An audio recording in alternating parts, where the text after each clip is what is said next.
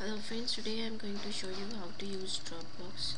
First of all you just download the dropbox from google.com click on google and type the dropbox. From the dropbox link you can download the dropbox. As you can see I have downloaded the dropbox over here. Uh, now you can click on the Dropbox icon and open the Dropbox folder.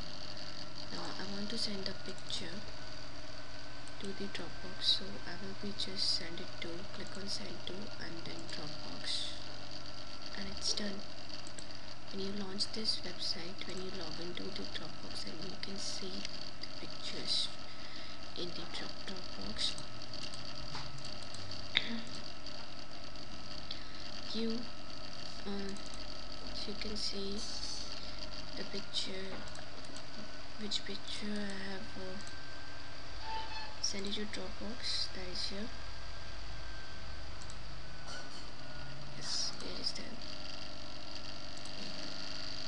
And you can see the picture here as well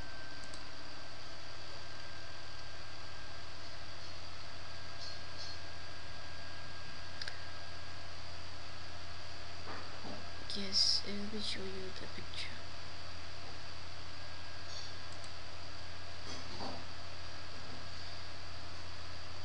Thank you so much for watching